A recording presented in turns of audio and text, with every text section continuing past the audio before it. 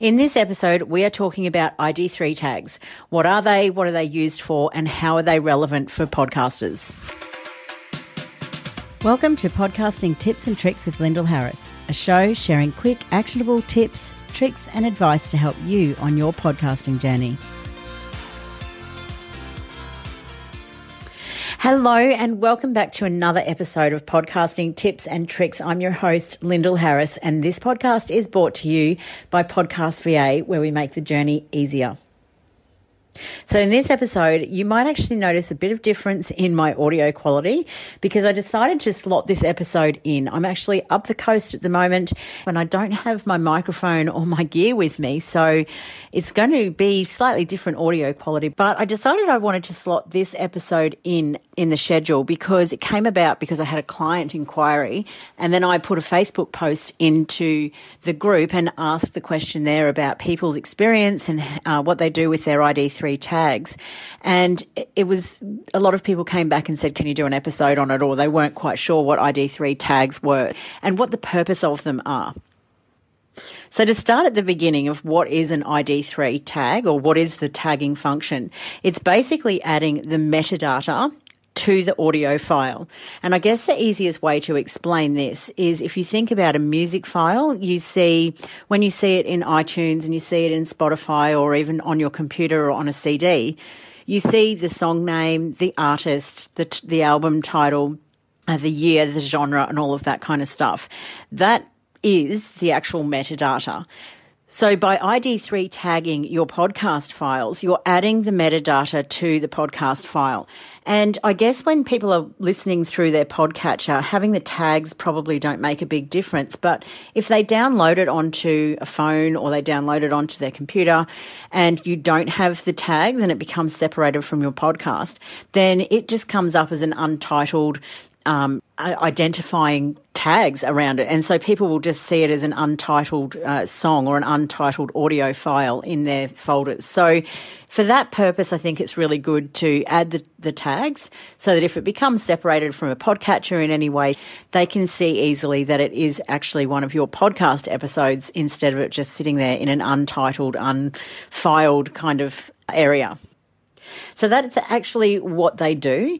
There's numerous ways to add ID3 tags. You can go into iTunes. You can do it from exporting from uh, your editor in some cases. I know Audacity, you can add the tags there.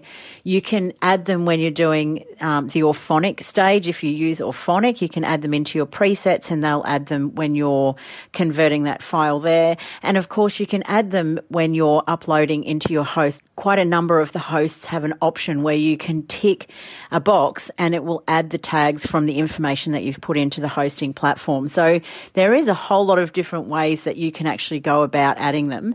And I think it is worth doing that even though I'm going to say there's probably not a lot of functionality in having the tags on your show.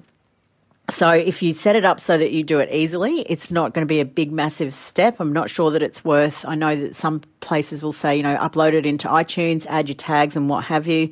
If you do that, then um, to convert files, then it's probably not an extra step. But if you're importing it into iTunes just to add your tags, then it is an extra step that you don't really need to take.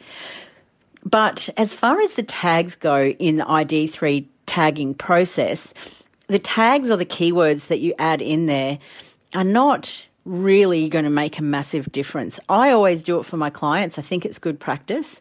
But from the research that I've done, I wouldn't spend a lot of time analyzing what to add as tags. So for your show, you might have, you know, however many, you might have five or 10 or 20 words that you want to add against all of the, the files. And then for each episode, perhaps you want to add a few extra tags. So how I do it with some of my clients is they have the show ones that we add to every show, and then we might add a couple of episode specific ones. But certainly wouldn't spend too much time doing keyword research and what have you on the actual tags to add into the files there because it doesn't make a lot of difference in the end.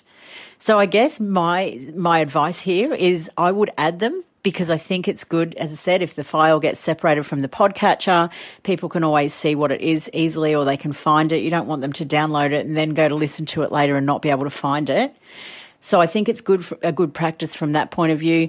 I would still add the tags and just obviously whatever your keywords are really, whether they're your business keywords for your website or ones that just make sense for your show.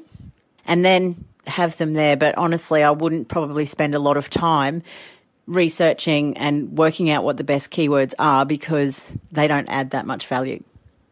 So I hope that's kind of answered to the question where people in the group certainly said they weren't quite sure what they are and what their function is. And if you're not part of the Australian Podcasters Collaborative Facebook group, jump over there and search for it. It is a fantastic, really supportive and engaged group and the type of place where people can ask these types of questions and they will get answered as well. So if you are wanting to join the Australian podcasting community, please head over there and join and we'd love to see you there. Until next time, have a great week. Thank you so much for listening. If you enjoyed the show, make sure you subscribe in your podcatcher so you don't miss an episode. And whilst you're there, I'd love it if you'd leave me a rating and review to help other podcasters.